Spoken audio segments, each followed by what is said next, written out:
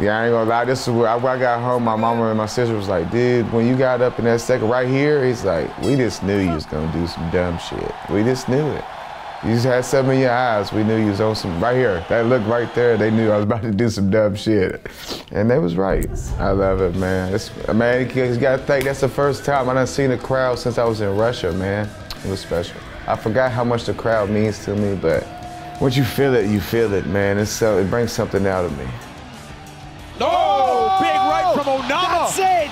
Sneaky power. Landwehr in a world of trouble. that never happened, bro. I definitely don't remember that. It just goes to show you, man, I just won't stop, man. Knock me down, drag me down, bust me open, hurt me, bruise me.